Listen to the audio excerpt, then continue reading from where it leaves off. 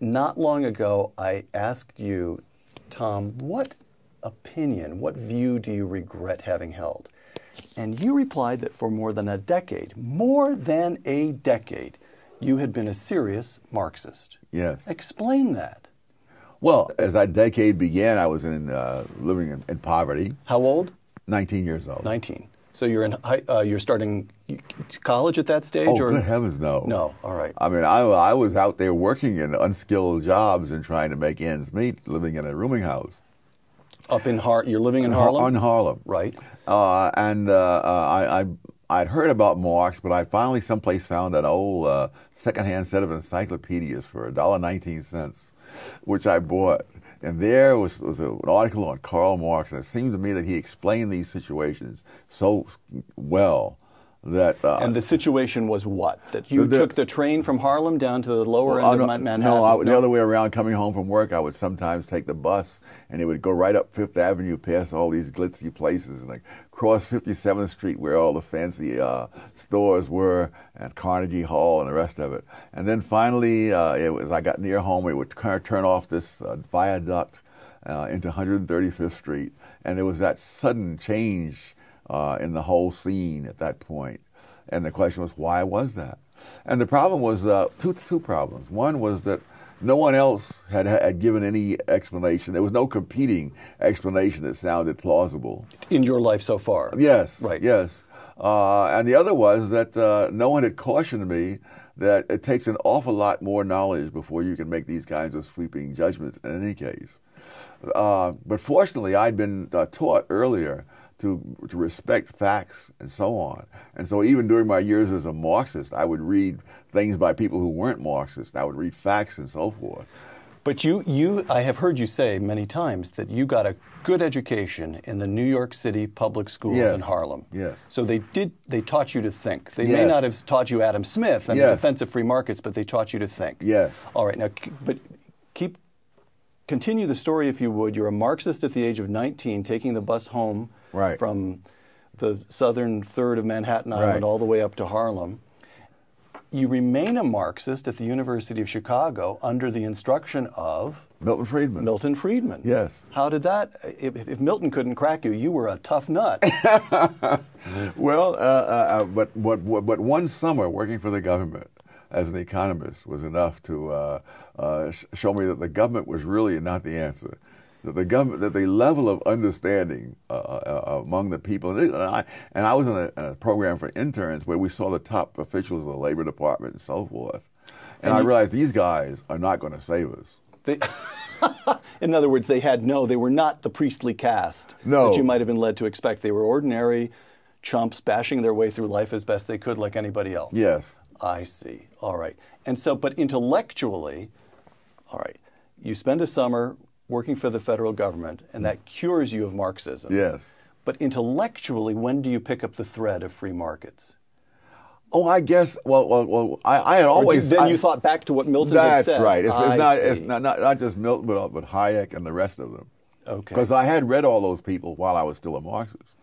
A couple of uh, you have a, uh, an essay in here entitled "Marx the Man." Oh, yeah. Quote Marx's angry apocalyptic visions existed before he discovered capitalism as the focus of such visions. Yes. Explain that.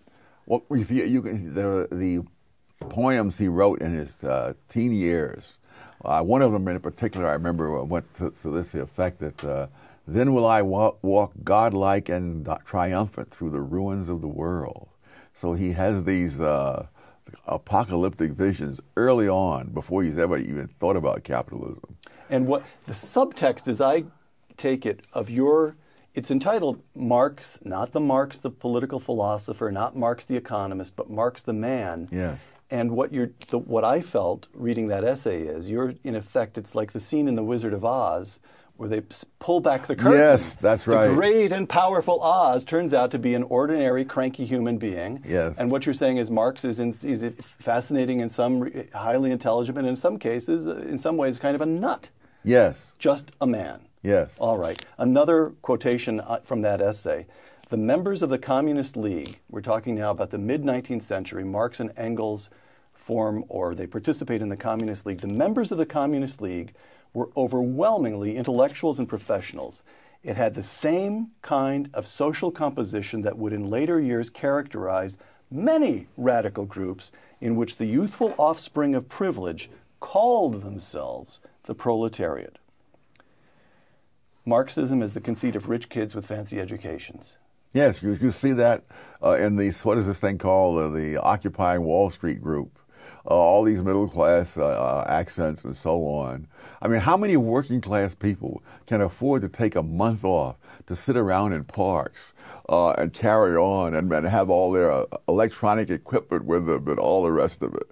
I mean, come Sleeping on. Sleeping in sleeping bags with the first rate down feathers. Oh, right, yes. Right. So, but at what stage was there a moment when you said, wait a moment, these putative Marxists and leftists and uh, liberals, to use the term the way it's used in this country, as a leftist, they have no they have no knowledge of nor concern for what life is like up on 130th Street. That's right. There was That's a moment. Right. Was there a moment or an incident when that just struck you, or was that kind of a progressive realization? It was, where a progressive re- re- realization. All right, Ronald Reagan, the Thomas Sowell. I like ju- juxtapositions here from Karl Marx to Ronald Reagan, uh, but you do it yourself. One old-fashioned way to judge a president is by results. A more popular way is by how well he fits the preconception of the intelligentsia or the media. By the first test, Ronald Reagan was the most successful president of the United States in the 20th century. By the second test, he was a complete failure. Yes. The Marxists are rich kids with fancy educations. You've got the intelligentsia misreading Ronald Reagan and you've got Tom Sowell from a very early age to the present, when he remains a fellow at Stanford, at the Hoover Institution at Stanford, making his career in academia all the same. How is it that you're able to swim against the current? I don't know. Please don't be quite so truthful. This is television. We need. To... oh, I, I, I guess uh, partly luck. Uh, but but but uh, uh, I don't I don't know. It's um, there are there are places uh, there are like the Hoover institutions. No, it's no great uh, handicap to have the views that I have here, uh, and there are a few other places here and there.